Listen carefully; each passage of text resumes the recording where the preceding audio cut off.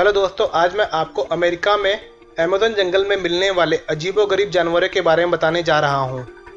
वैसे तो अमेज़न अपने अजीब वातावरण के लिए माना जाता है, लेकिन लोग इसे पाँच खतरनाक जानवरों के घर के रूप में भी जानते हैं। Green anaconda. एनाकोंडा का नाम सुनते ही सबसे पहले हमारे दिमाग में सन 2004 की मूवी आती है, जिसमें एनाकोंडा को खतरनाक जानवर बताया गया है। लेकिन आपको बता दें कि एनाकोंडा पानी के बाहर काफ़ी धीरे और पानी के अंदर काफ़ी तेज और ख़तरनाक होता है। इससे यह समझ आता है कि इसका घर अमेजोन की नदियाँ, कीचड़ और दलदल हैं। आपको इस बात से आश्चर्य नहीं होगा कि यह सबसे लंबा और भारी सांप है। इसकी आँखें मगरमच्छ की जैसी सिर के ऊपर होती हैं, जिससे यह पानी के अंदर छुपकर पानी के बाहर वाले जानवरों पर ध्यान रख सकता है। ये अपने शिकार को जकड़कर उसका दम तोड़ देता है, फिर उसे निगल जाता है। ये ज़्यादातर मछली हिरन चीता और पक्षियों का शिकार करता है। पॉइजन डार्क फ्रॉग ये एक छोटा प्यारा जीव नहीं है, बल्कि एक खतरनाक मेंढक है। ये जहरीला मेंढक अमेजोन के बारिश वाले इलाके में पाया जाता है। ये दुनिया का सबसे जहरीला ही नहीं, बल्कि सबसे ज़्यादा जहरीली हड्डी वाला जानवर है। इसका जहर आपके नर्वस सिस्टम को रोक देता है, जिससे आपका दिल धड़कना बंद कर देता है। सिर्फ़ एक मेंढक के पास इतना जहर होता है कि वह कई लोगों को मार सके। आदिवासी लोग इसे पकड़कर, इसके पैर को तीर पर लगाकर, जानवरों और अपने दुश्मन का शिकार करते हैं।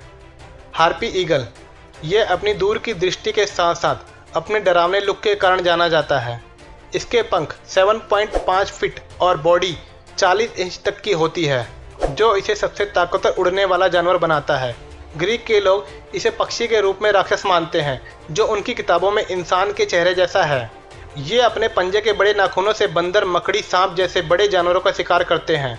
मादा पक्षी, नर पक्षी की दुगुनी बड़ी होती है, लेकिन दुर्भाग्य से शिकारी इनका शिकार आसानी से कर लेते हैं। जैगुआर, ये सबसे बड़ी बिल्ली की प्रजाति होती है, जो अमेजोन के जंगलों में पाई जाती है। इसका नाम जैगुआर नेटिव अमेरिका के येगुआर से लिया गया है, जिसका मतलब यह है कि वह जो एक छलांग में मार देता है।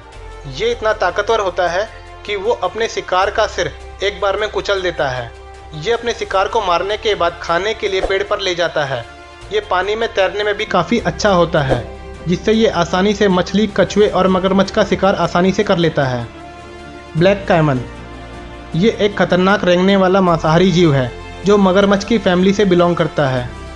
ब्लैक कैमन, जो सबसे बड़ा तेरह से चौदह फीट का होता है, जो अपने शिकार को पूरा निगल जाता है। ये सबसे ज़्यादा छोटे स्तनधारी जानवर और मछली का शिकार करता है। और बड़े जानवर, केपीवारा, हिरण और सुअर का शिकार करता है। लेकिन दुर्भाग्य से इसकी कीमती स्किन, जिनसे कपड़े और